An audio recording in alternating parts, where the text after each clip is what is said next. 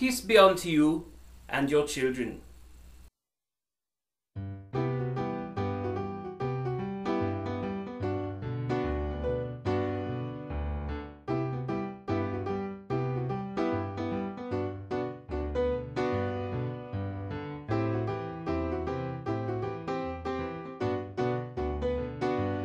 People say to me, Where do you get your wonderful ideas for videos? Well, I have a long process. First, I take a stick of butter, not margarine, not oleo, but real butter.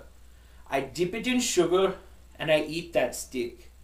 And then I go out in my thong bikini and lay in the sun.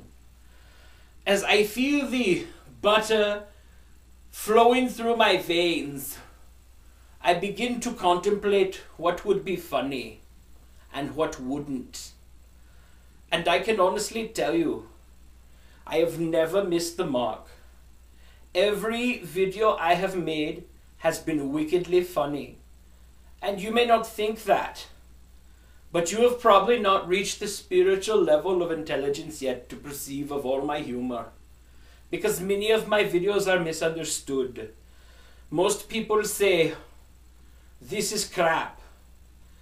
But truthfully, it is very funny. They are just not enlightened yet as to the humor.